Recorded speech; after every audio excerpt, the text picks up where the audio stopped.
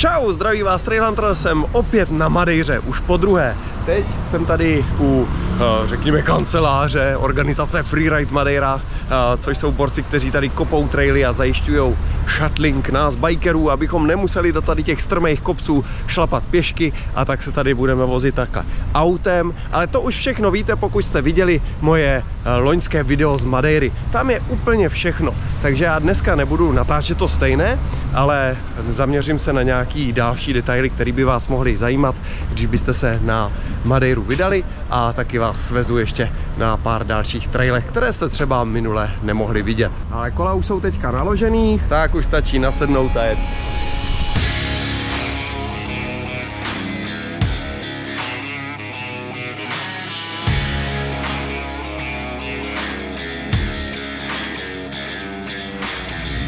Nahoře teď máme trošku frišno, je tady mlha a jsme v nějakém mraku, ale dole by mělo být slunko, takže se tady nebudeme dlouho zdržovat a rychle jedeme dolů.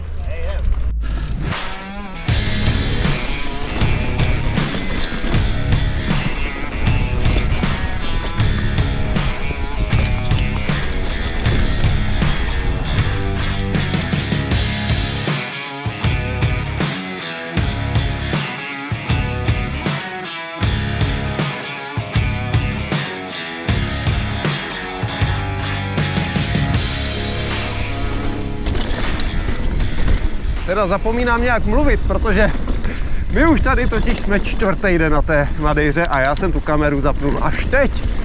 Důvodem je právě fakt, že už jsem na Madejře po druhé a velké video už vyšlo, takže teďka tady nemám až tolik práce a vlastně teď jsem tady jako takový eh, spoluguide pro další partu trailhunterů, která se rozhodla jet se mnou. No a pro mě je to příležitost se sem vracet a užívat si tyhle ty skvělé traily. Takže to já jsem za to strašně rád. No ale tu kameru jsem dneska teda i přesto zapnul, i když už video odtud je a můžete nasát nějaký čerstvý dojmy tady z Madeiry.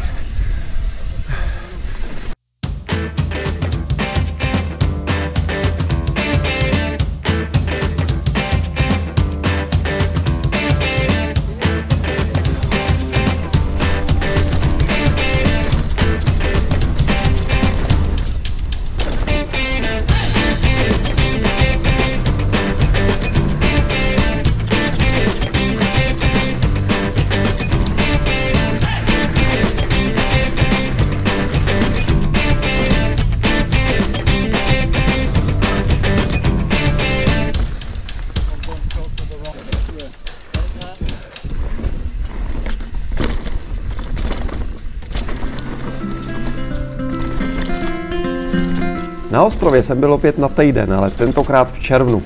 Oproti listopadu jsem čekal vyšší teploty, ale tohle je fakt ostrov věčního jara, jak se říká, protože teploty jsou tady pořád příjemně kolem dvacítky. Vedro tady zkrátka nebylo a nahoře v horách se občas hodila i bunda.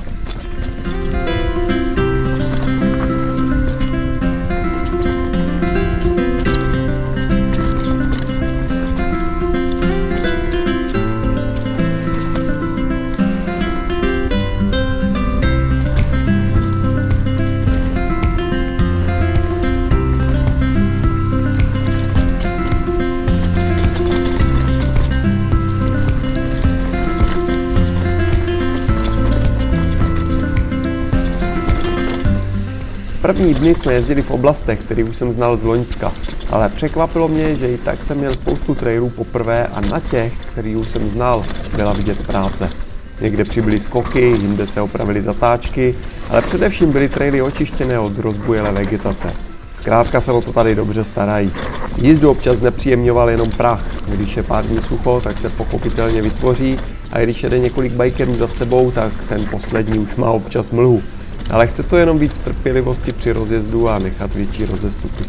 Nebylo ale výjimkou, že jsme nahoře jízdu startovali v mraku s mírným mrholením a dole jsme dojížděli v posluněným zaprášeným trailu.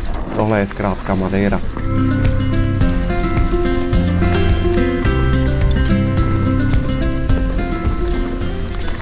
Program zpestřovali obědy v místních hospůdkách a ochutnávání všelijakých dobrot, jinak jsme ale jezdili pořád nahoru a dolů až do odpoledne. Párkrát jsme se projeli i kolem Levát, což jsou ty slavné madérské zavodňovací kanály. Ale oproti Loňsku jsme tentokrát nemohli jet legendární Levada Trail, který vedl i skrze tunely a bikery dovedl až na sjezdový trail s unikátním sopečným povrchem. Na ten jsem se fakt těšil, ale i na Madejře musí řešit zvyšující se popularitu bikingu, soulad s pěší turistikou a ochranu přírody. A tak už bikeři na tenhle trail nemohou. Nicméně ostatních trailů je tu hromada a vznikají i nové, takže každý den je kde jezdit a přitom poznávat pořád nové stezky. Tady se jde po něčem, co bych přirovnal k hrabance, docela volná hlína.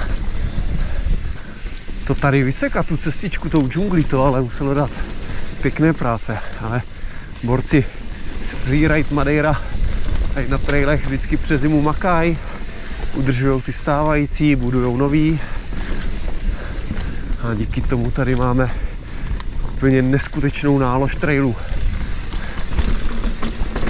A pojď do toho, co? To půjde. Uh. tak. Tady je to takový nepříliš pevný ten okraj, jo? Ta nejikoničtější ale zůstává bikerům nadále přístupná. Trail na útesu se zkrátka nemůže vynechat a i náš madejrský guide říká, že ho ty výhledy po každé ohromí. A to už by na ně mohl být po těch letech zvyklé. Jo, je přesně ono. Ukázal nám pak ještě pár úplně nových trailů, které vznikly na základě rychlostních zkoušek z enduro závodu Transmadeira nebo EVS. Extra zážitek byl v tomhle směru kamenný trail na východě ostrova. Je to asi nejšutrovatější trail, který tady můžete zažít. Samý kameny, sem tam skalka, ale hromady zábavy a zase trochu něco jiného. Uh. Hodně přísný už tady.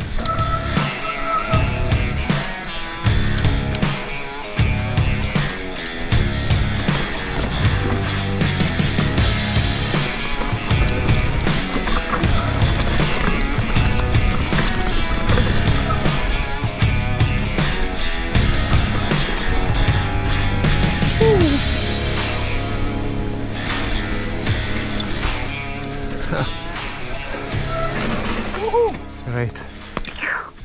Madeiru jsem považoval za jednu z nejlepších světových lokalit, eh, kde se dá jezdit na kole a měl jsem takový sen se sem jednou dostat a zajezdit si tady. To se mi nakonec podařilo a jenom jsem se utvrdil v tom, že je to opravdu unikátní ostrov, kde se dá zažít na tom kole hm, fakt jako něco, co v Česku jen tak nezažijete. Oni ty terény jsou tady opravdu pestrý, to ježdění takový surový, ale hlavně uh, se to proměňuje, že nahoře startujete třeba Eh, jak v nějaké alpské krajině nebo třeba v dešti, potom projíždíte takovým lesem, který vám připomíná trochu Česko, pak nějaký eukalyptový lesy, kde to strašně voní, nakonec skončíte v pralese, pak už vám tam svítí sluníčko. Je to neskutečný. Každý den je tady úplně jiný, úplně jiný ježdění a tyjo, já jsem z toho úplně vedle eh, a to tady jako už jsem po druhé a, a myslel jsem si, že jsem na to připravený. A pokud máte taky takový sen, si sem jo, jednou zajet letět s kolem a, a vyzkoušet to, tak vám můžu teď pomoct s jeho uskutečněním, protože mám známého s takovou malou cestovkou, která dokáže právě zajistit všechno, co je potřeba k tomu, abych mohl uspořádat takovejhle výlet. Navíc se dají potom vyjednat takové výhody pro průvodce, jako jsem já, takže mám potom že ubytování zdarma a tím pádem mě to umožňuje se sem vracet, ale zároveň, eh, když se sem vrátím s nějakou partou eh, no, bikerů, některými z vás, tak se zase vám to budu snažit vrátit eh, v tom, že vám tady udělám průvodce, že se o vás tady postarám a prostě vám budu dělat takového delegáta zájezdu. Je to trošku dražší záležitost, je to jasný. Není to jako vůbec blízko z Česka, musí se sem letět, nejsou tady žádné lanovky a není ani myslitelné to, že by se tady šlapalo za své, takže se musí pronajmout uh, shuttle, uh, musí se tady pronajmout i guide, protože ty místní traily ne všechny jsou na Trail Forks a hlavně místní guidi znají místní počasí. Takže tady, když jste bez guida, tak je to hodně velký risk, protože na půlce ostrova prší, na druhé ne a třeba zrovna včera to bylo úplně uh, krásně vidět, jak oni si zavolají, každý je v jiném koutě ostrova, okamžitě ví, uh, kam zajet, aby se dobře jezdilo, aby jsme se třeba netopili zbytečně v blátě, a nebo aby jsme zase třeba klidně jako se netopili v prachu, protože tady je to počasí proměný opravdu dost a až mě to teďka překvapilo. Já jsem myslel, že třeba v červnu, že tady bude nějaký horko a že tady bude třeba na jistotu úplně hezky. A ono ne, ono tady na tom ostrově je celý rok v podstatě 20 stupňů, úplně takový příjemně, takhle úvody je i tepleji, ale potom nahoře v horách to je hodně proměnlivý, tam klidně může pršet a, a může tam být právě i trošku zima, takže je to, je to zajímavé, že vlastně se to počasí tady vyvíjí vlastně úplně stejně jak v tom listopadu, že tady zažíváme krásně sluníčko, ale i občasné deštíky, nicméně to přispívá na pestrosti toho ježdění a moc mě to tady baví. Takový je teda ježdění na Madejře a pokud byste chtěli vidět ještě víc, tak se vraťte k mému předchozímu videu z Madejry, kde to beru daleko podrobněji a uvidíte nejenom víc trailů, ale třeba taky výlet autem po tomhle ostrově po zajímavostech přírodních a turistických a tak. Kdo se chcete příště přidat, koukněte na thmadeira.cz, což vás přesměruje na stránku s veškerými podrobnostmi. No a já jako vím, že to není nic jako levného se sem dostat, ale jako od toho jsou sny, aby byly trošku nedostupné a aby člověk eh, chvilku o nich musel snít a potom měl o to větší radost, když se to nakonec třeba nějak podaří. Jinak budu se snažit eh, objevovat další takový zajímavý bikerský destinace a třeba potom eh, zprostředkovat i možnost, jak se tam se mnou svést, protože to mě neuvěřitelně baví a um, jako naplňuje takhle cestovat i s kolem, ale samozřejmě uh, jsem nezanevřel ani na naší českou kotlinu, která je mi úplně nejbližší a samozřejmě dál budu objíždět české bike parky a trail centra a zprostředkovuju vám od tam klasické reporty. To už je teď všechno. Mějte se krásně, loučím se a zas někdy. Čau.